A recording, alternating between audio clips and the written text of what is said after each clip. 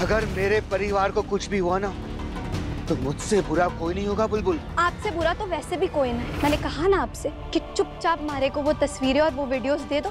फिर मैं आपको बता दूँगी कि आपका परिवार कहाँ है।